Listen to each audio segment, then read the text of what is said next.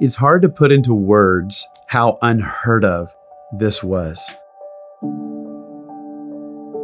At least in the Bible Belt in America, the way that church happened was in beautiful buildings that were tied to denominations. The idea of someone meeting in an abandoned grocery store, there was no grid for that. And when people would hear we're starting a non denominational church and it was going to be called Antioch, they would look at you like you were an alien. It would make you pause and think, are we crazy? Like, is this thing actually gonna work? Thinking like, are, are we gonna get paid? Is anyone actually right. gonna come? Or is there gonna be anyone that shows up? Just wondering. When the opportunity came um, for us to plant, the question was Does Waco, Texas need another church? And the answer was no. But Waco, Texas needs a church planting church. And so we launched out, you know, uh, just with that ambition. What if we actually really lived out the kingdom? What if we really invested in people's lives? And what if we became a church planting church that, again, was built on multiplying everything that we did here and around the world? When we found out that Antioch was going to be planted, I'm not a big risk taker. I'm not always looking for the latest thing, but man, something jumped inside me, and I knew we are to be part of that. Big things require big faith. Um, and something about it felt like crazy faith, but internally I knew like we got to do this and, and I want to be a part of it. It really was exciting. It really made us family. One time I was talking to Jimmy and I said, What if we put all our eggs in this basket and then it doesn't work? Like this thing goes belly up. I'll never forget, he just looked at me and said, Well, then, we will have known that we gave everything for the purpose of Jesus and others, and I'd rather do that than play it safe.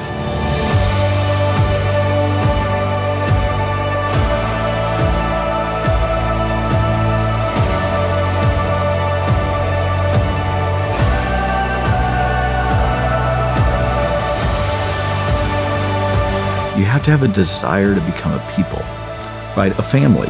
And we had that in our hearts. We want to walk with these people for the rest of our lives. We want to build these people into people that can change the world. We wanted to do it together and then reproducing that around the world. We did not want to just build another great church. Our hope was that we would really be a part of a move of God.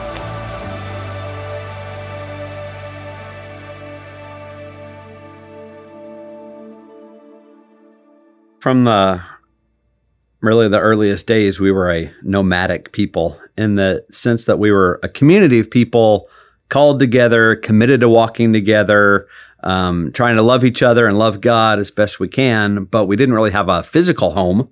Um, so um, every Sunday we were rotating different locations around town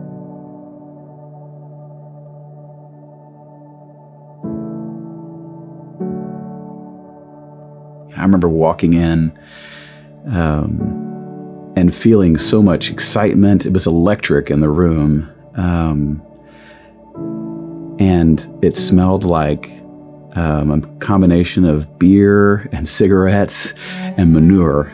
And yet everyone's eyes were just lit up. Every week was a challenge because there was so much work to do to put everything together. And but I think everybody felt like we we were planting a church.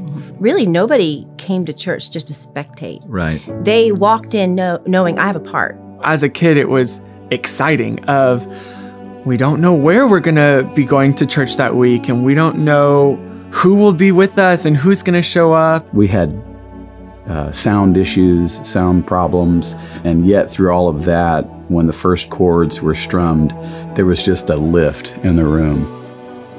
All of our hands are raised and our eyes are lifted to heaven, and the worship was so real. And it was from that first service I knew um, this is crazy and this is ragtag, but this is my family. We knew that God wanted us to have a place that we could call our own, um, a campus to draw people to, to train them.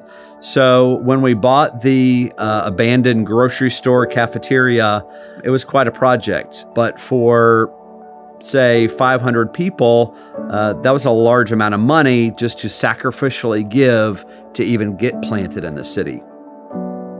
While we were raising the money, renovating the building, and moving around town, eventually we were like, hey, why don't we just meet on the parking lot? I loved the parking lot services. It was okay going around to other places, but when we could all gather, bring their lawn chairs, some of the Baylor students would bring the couch. The band was on that flatbed trailer, but uh, it was such a joy to be, you know, uh, putting down roots in this neighborhood.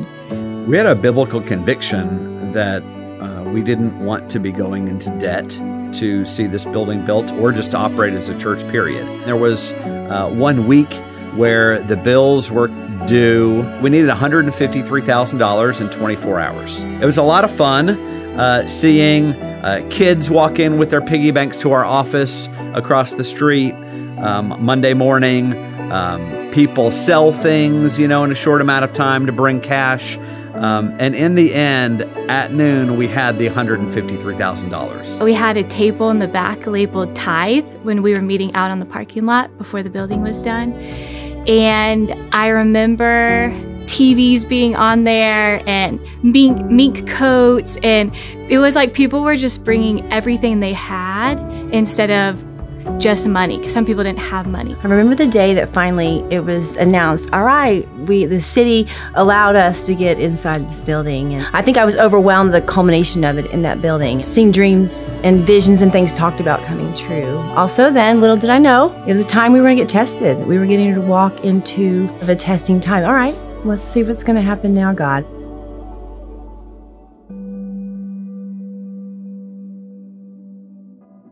We're driving home from vacation actually, and it's August 2nd. And we get the phone call. Heather and Dayna have been picked up by the Taliban. And immediately I just called uh, back and I said, call all the life group leaders, set up 24 hour prayer, let's go. That night I came in with my sleeping bag and um, man, I, uh, yeah, it's just prepared to be up all night, not knowing how long this would last. And uh, the prayer room was filled. Our whole church really did respond. We were meeting all the time to pray and intercede.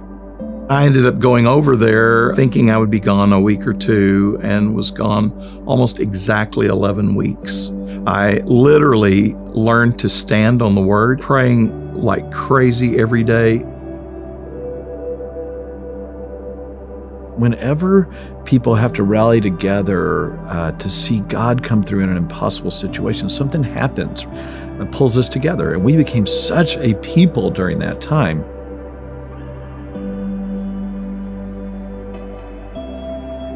So it was really exciting when he, we got the call that, that Dayna and Heather had been released and there was going to be a worship service. So we all got in our cars and went to church. It was so exciting and just sweet to see the fruit of all of our prayers answered. Everybody, I knew everybody's going to congregate, you know, here, and such celebration. The worship that happened was all very spontaneous um, because there was no time to prepare for it. We, we didn't even have an hour to figure out what was going on. I remember thinking, God, what's on your heart right now? And Him saying, What's on Dayna and Heather's heart right now?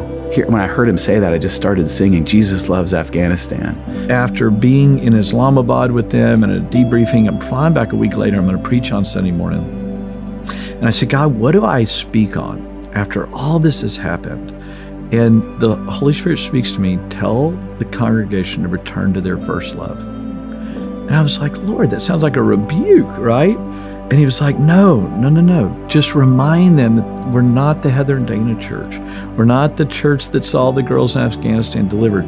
We're the church who love Jesus, who love others, who love the lost. Call everybody back to simplicity of loving Jesus because I've got more than one mission for this community. I've got a mission for them to change the world and change lives locally, nationally, and internationally. One of the most important parts of our church life here has been that it's been about family. It's not been about the adults, but it's been a place where we could pull our kids in and and let them be a part of this vision too. This led us to taking our family and three other families to Haiti, eight adults and 16 kids, and it was very much a place where the kids had their part. And I really this was a foundation for them learning to share the gospel and and love the lost and and see the hurting and broken of the world. The kids really took ownership of the process. They were in the dramas, they were in the dances, and it was just really fun to watch them seeing this not just the adults that are the ministers, but they were able to be part of the ministry to the people of Haiti. It made me go back to school and watch what a classic sixth or seventh grader was worrying about. And it helped me realize there's more to life than this. There are people out there that genuinely don't have a meal to eat. They don't have shoes. They don't own anything. It marked all of us. I just remember coming back and thinking, I can never be the same.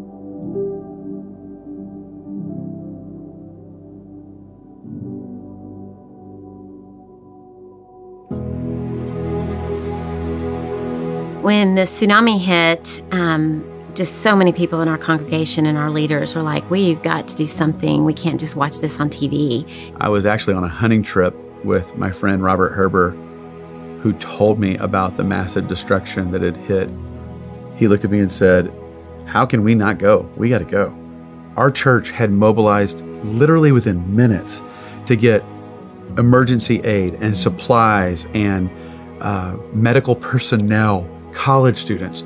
And immediately we were able, able to bring counseling helps and medical helps, and then just started doing the work of trying to get a village started there. Our first wave we took um, was a medical team because that was the highest need, and went in and just hit the ground doing whatever we could. And it was amazing because we literally were able to build a village. And we had long term teams that stayed there for several years, just really seeing the people get back on their feet. When I think about being ready for crisis, I think about all the decisions we make along the way. Uh, when we go on these short term trips, the spring breaks, or when we take families to Haiti, those uh, small trips prepare us for the big things that God's going to do in and through our lives. And so as a community, we've always made made these short-term trips available so that when the big things happen, the Sri Lankas of the world or a, a refugee crisis in Europe or whatever it is that comes our way, we've got a prepared people. Right when we came, the Sri Lanka um, outreach was going on, and so many people were going to Indonesia and to different parts of the world, and it was just reach the world, reach the world, reach the world. But at the same time, I was hearing about like these college students let this homeless guy live on their couch and I was seeing people was getting their family members to come and be a part of the Grace House of the Mercy House. And wow, it was just this beautiful mixture of reaching the world, but we were also reaching our city. You know, I wanted to see uh, not just one type of person or not just one type of ministry, but every type of person and every type of expression and every type of gifting all mixed together. And that's definitely what was happening. Life for a long time was very dark of drugs and chaos and brokenness and pain um, had gotten to a point where I was so broken that I had cried out to God and asked Him for His help. The next day, an answered prayer, I was given the opportunity to go to jail. when I was get, to get released, um, there was a pastor there. He had asked me, he said, Jason, um, when you get back home, do you got a church you're going to go to? I was high one day. Um, I came across this house on a Halloween outreach. And I remember when I came up to this house, this guy came and talked to me and he prayed for me and he told me he was from Antioch, and so uh, he invited me to come, but I never went. Fast forward two years, here I am about to get released. When I'm trying to think about a church I'm going to go to, I remember Antioch. Didn't know what to expect. You know, I wasn't I wasn't a churchgoer. Um, I started looking around for somewhere to sit, and um, I'm with my son, and that's when I saw this family kind of motion and wave over to me and ask me if I wanted to sit with them. Afterwards, Jim and Amy said, "Hey, well, we got this group that's meeting tonight." It's called Life Group, and we'd love for you to come. Like I said, sure, I'd, I'd love to come, but I, I don't have a car. And they said, hey, we'll, we'll come and pick you up. And Jim and Amy started to come pick me up and take me back to this life group.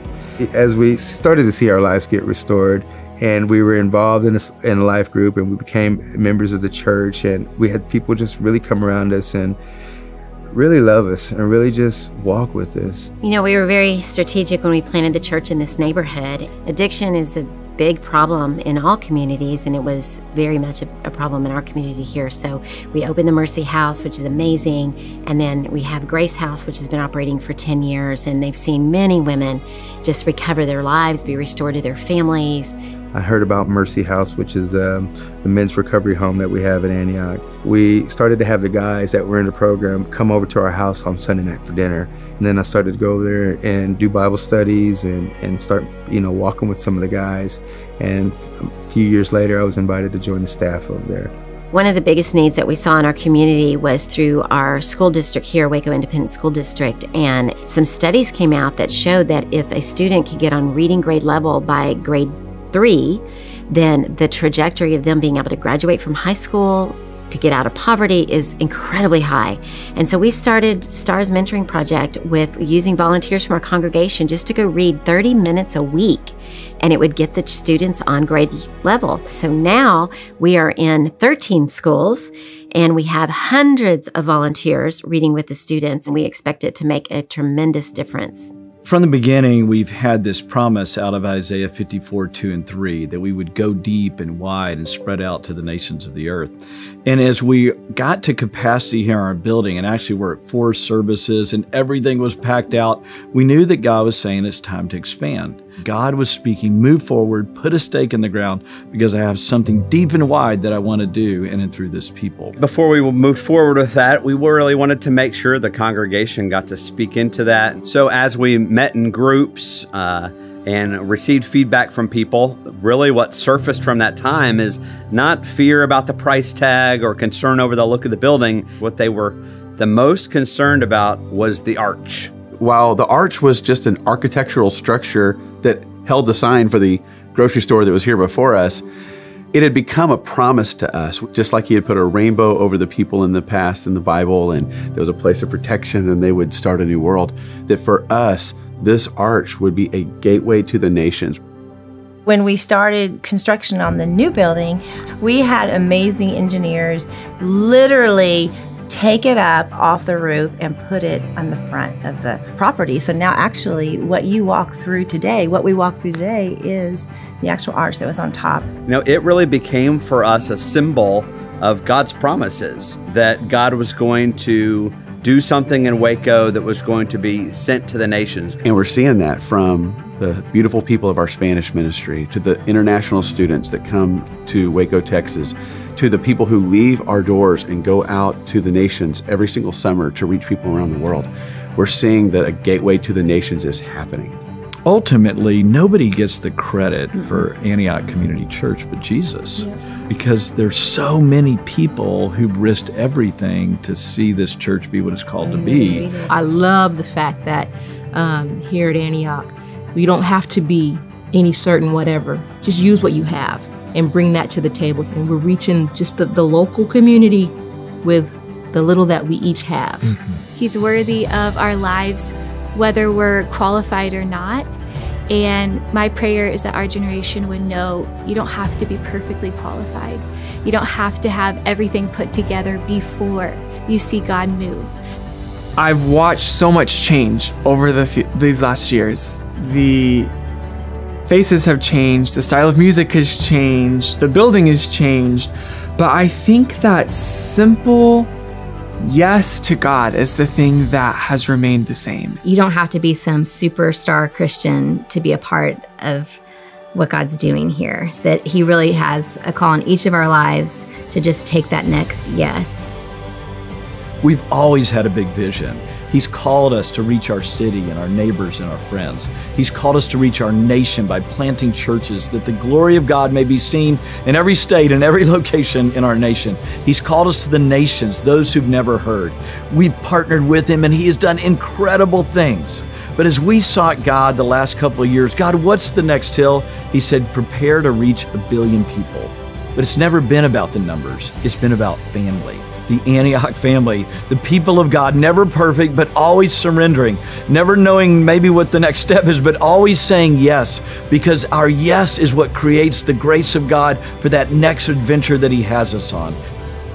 Whether you've been with us from the beginning or you just walked in the room, we're inviting you to join us to say yes again to all that God has for us because He's called us to be a people who have a passion for Jesus and His purposes in the earth.